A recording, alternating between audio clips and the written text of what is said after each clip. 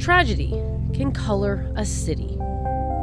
In Orlando, messages, paintings, and murals nudged us towards healing. It resonates. It resonates with everybody. Art resonates, and you see, and it also wakes you up. The strokes remind us, pull from us, help us sort through our emotions. Because it takes time, you know. Right after Pulse, we felt a certain way. We were angry. We were, we wanted to paint, you know.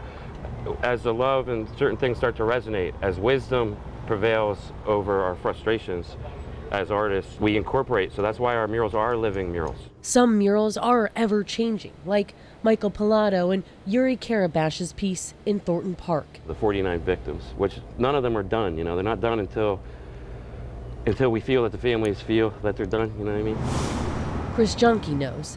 He owns I Fix Your Eye, the business with the famous 49 rainbow birds. This is about love and it's about uh, remembering. Colorful souls taken on a gray night. That's what this reminds me of is, is we have to love each other and that's